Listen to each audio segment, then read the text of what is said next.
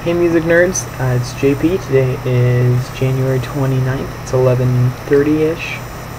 Um, and the reason that I'm almost late, but I'm hoping this will get uploaded before midnight, at least here.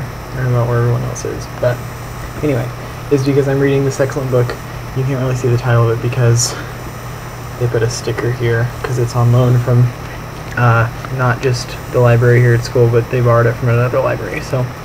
Um, but it's, see if you can see there, Musicophilia by Oliver Sacks. And um, this is one of the best books I've read in a long time. Um, definitely the best nonfiction book I've read in a long time. Because I did read Paper Towns. That was the first book that I read this year.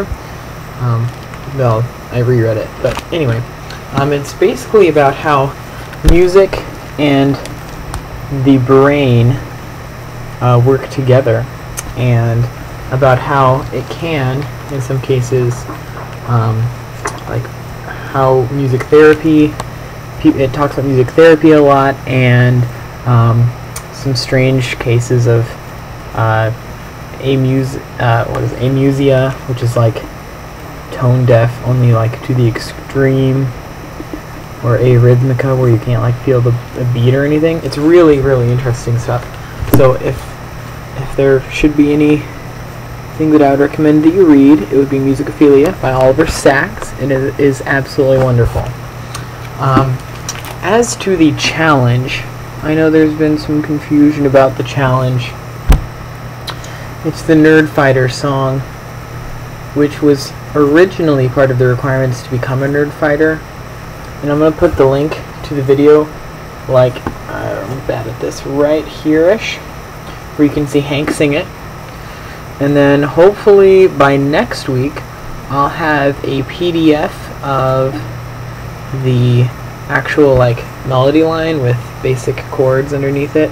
Um, there are only two chords. I think it's the one chord and the four chord in a minor key. So it's not bad. Um, I actually for my uh, aural skills class, which is like sight singing basically, um, we we had to turn in melody journals like that. We just list, we just had to think of songs and then write them down, write the music down on the staff paper, and I did I did three of Hank's songs.